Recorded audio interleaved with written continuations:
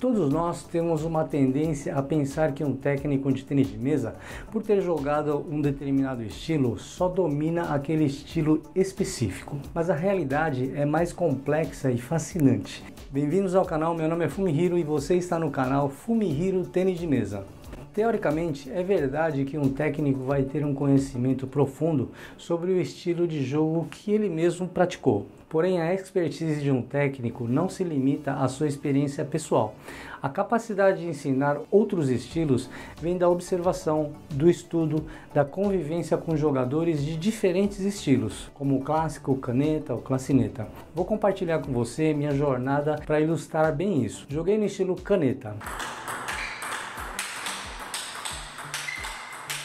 Minha capacidade de ensinar o estilo clássico foi aprimorada na Europa. Participei de treinos com diversas seleções europeias antes do Campeonato Mundial em Dortmund em 1989. Estágios na Suécia, Luxemburgo, Japão e uma temporada como profissional na Bélgica me deram uma visão ampla. Na Europa, quase 99% dos jogadores adotam o estilo clássico.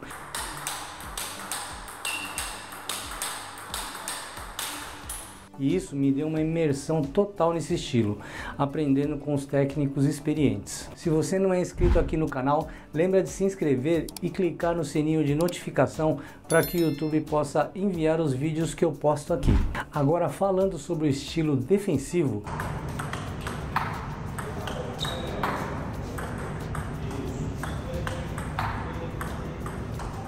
minha educação foi um pouco diferente. Durante 22 anos ensinei no Japão, onde trabalhei com parceria com Okada-san, um excelente jogador defensivo. Junto criamos uma, uma sinergia formando jogadores defensivos devido à necessidade de ter uma variedade nos estilos de jogo dentro da academia. Ao lado de Okada-san, eu aprendi vários treinamentos de movimentação de pernas e técnicas específicas desse estilo defensivo, que é esse aqui.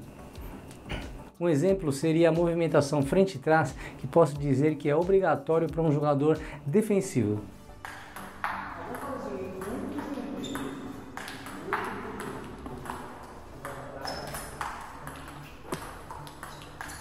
Diferente de jogadores atacantes que treinam mais movimentações laterais.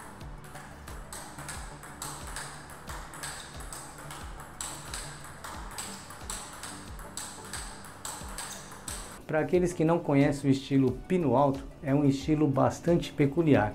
Eu aprendi a ensinar a jogar contra pino alto quando estava no Japão, onde muitos jogadores adotavam esse estilo. A melhor maneira de entender foi literalmente colocando-me no lugar deles. Usei essa borracha e vivenciei as dores e dificuldades desse estilo.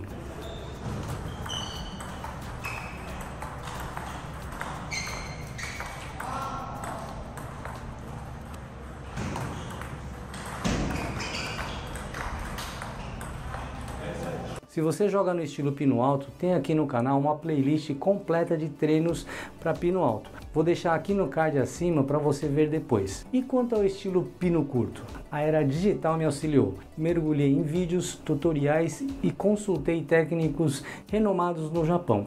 O pino curto tem suas peculiaridades, como o ato de conseguir bater a bola com efeitos para baixo.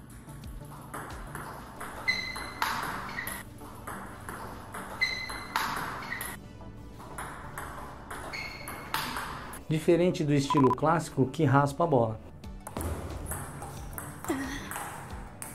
Sim.